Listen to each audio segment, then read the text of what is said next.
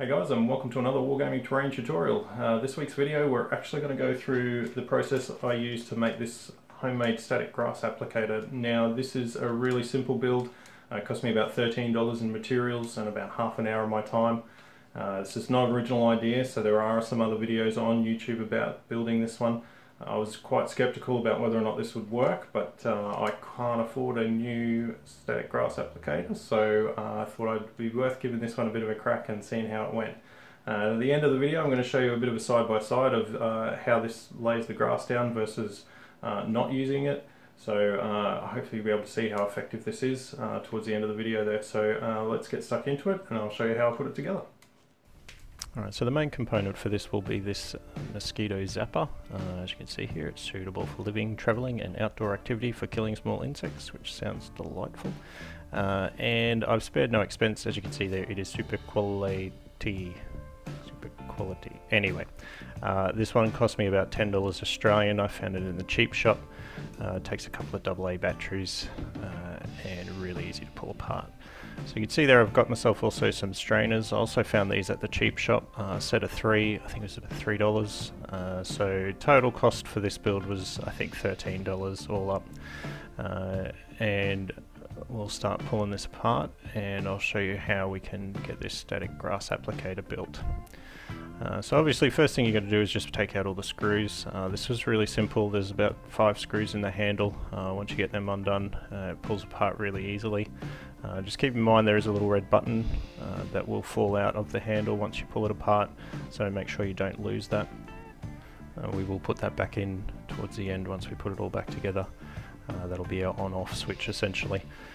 Uh, here I'm just pulling the racket apart just so I can get these wires. I didn't want to trim them off too short. You could certainly cut them off there at the uh, at the base of the racket, but I wanted to try and keep these a little bit longer. Uh, it works out really well in the end when you see me put the strainer into the handle. Uh, now if you're looking for a more, uh, probably a more effective or more technical build of this, uh, Luke Towan has a great video on how he scratch built one uh, using uh, the proper components for this sort of thing, so definitely check out his channel and uh, you'll see how he puts that together with um, actually specially bought um, components for, for this rather than a $10 mosquito racket. Uh, here I'm just uh, taking the meshes off and removing the wires. Uh, again, this is really simple, just a couple of a little pair of cutters will get that uh, get that free. Uh, you'll see there's three wires uh, inside the handle here.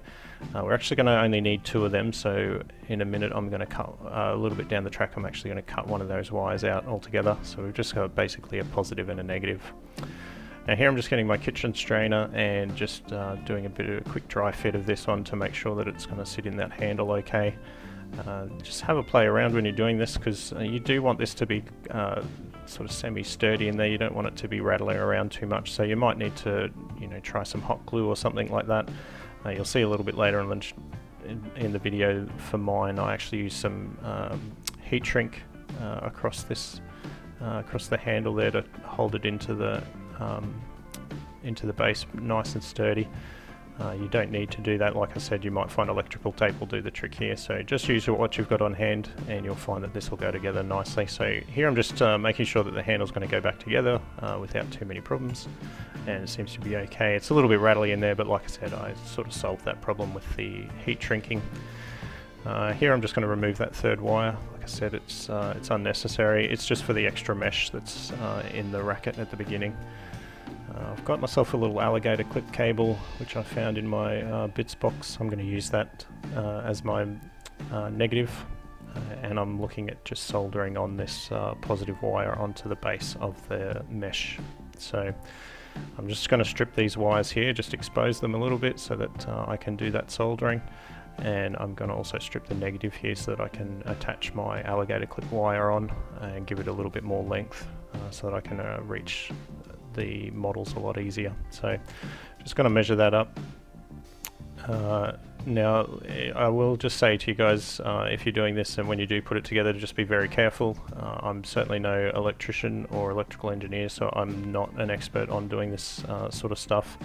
Uh, I did follow some things on YouTube to see how it went, and uh, this seemed to work out okay. So here you can see I've soldered and uh, shrink wrapped the um, solder there for the negative and I've also put that shrink wrapping around the handle just to hold it into the base uh, of of the um, applicator a little bit better. So it's in there nice and sturdy now. I've also fed the positive wire up through that uh, blue shrink wrap and soldered it to the bottom of the mesh. So when I turn this over you'll see the solder is there uh, attached more to the netting um, rather than to the side of that. I don't know if it really makes a difference. I just figured for the sake of uh, not having to pull it apart and redo it I'd attach it to the mesh itself. So uh, I've just put the uh, power button back onto that one. Now this is just it only works when you're holding that button in and it can make it a little bit little bit tricky to use at times if you're uh, if you forget about that button. So uh, just make sure you've got it in there and make sure it is still working. Uh, you can see that solder of the positive wire on the bottom of the mesh there. And this is about ready to go. So I'm just going to load it up with a couple of batteries and I'll show you here this thing in action. So uh, I've got, it's got three little drops of PVA glue. The one on the right here I'm using no power or anything, just uh, straight out, straight through the mesh. Um, now this static grass I've got is really short, so it's probably not the best for this this type of application. But um, you can see there nothing really happens. It's uh, it's it's pretty ordinary. Uh, now I've attached the power and I'm having a crack at this second uh, drip of PVA glue and straight away you can see the static grass there is starting to stand up on it and it's giving me the effect that I'm looking for. So uh, I'm probably going to have to play around with um, PVA glue here just to get it uh, the way I want it. It seems to be working pretty well but like I said I think this static grass is really just a bit too short uh, and I'll get myself some more soon and be able to get uh, hopefully a lot better results. But you can see here compared to that stack on the right um, we're getting exactly what we're looking for which is this grass standing up on end. So uh, I'm really happy with this. I was really skeptical at the start but as you can see it's working a treat. So I'm definitely going to be using this in the future Alright, so there you have it guys. Uh, that's our homemade static grass applicator. Uh, I hope you enjoyed this video. Please hit like and subscribe if you did. Uh, appreciate everyone that's subscribed so far or watched any of my videos. Uh, that's been great. Uh, I have set up a Patreon as well now. Uh, it's not a lot on there honestly. It's just some ramblings from myself on some of my builds and some of how I go about finding those builds. Uh, but if you are looking to support the channel in another way, please jump on over to Patreon. I'll put a link down below. And uh, thank you so much for watching. If you have any questions about this build or any of the things that I've done so far, please just leave a comment below and I'll get straight back to you. Thanks very much guys. See you next time.